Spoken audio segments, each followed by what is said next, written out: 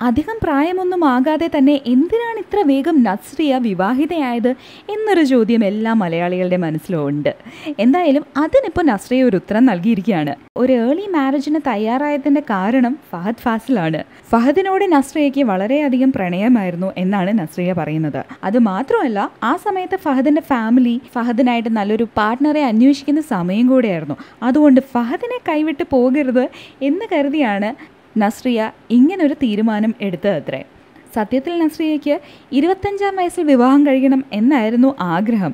പക്ഷേ അതെല്ലാം മാറ്റി ഫഹദിന് വേണ്ടിയിട്ടാണ് താനൊരു ഏർലി മാരേജ് ചെയ്തത് എന്നാണ് നസ്രിയ പറയുന്നത്.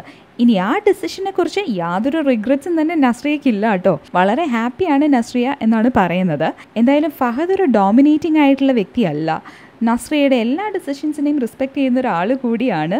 അതുകൊണ്ട് തന്നെ നസ്രിയ ഭയങ്കര ഹാപ്പിയാണ് അത് മാത്രമല്ല സിനിമയിലേക്ക് നസ്രിയ ഒരു കമ്പാക്ട് നടത്തണം എന്ന് ഏറ്റവും അധികം പറയുന്നതും ആഗ്രഹിക്കുന്നതും ഫഹദാണത്രേ. ഫഹദിനുണ്ട് ഒരുപാട് കാര്യങ്ങൾ പറയാൻ കേട്ടോ തന്റെ ലൈഫിൽ ഒരുപാട് പോസിറ്റീവ് ചേഞ്ചസ് കൊണ്ടുവന്നത് നസ്രിയാണ്. തന്റെ ദേഷ്യം കൺട്രോൾ ചെയ്യാനും സ്മോക്കിംഗ് ക്വിറ്റ് ചെയ്യാനും ഒക്കെ സഹായിച്ചത് നസ്രിയാണെന്നാണ് ഫഹദ് പറയുന്നത്.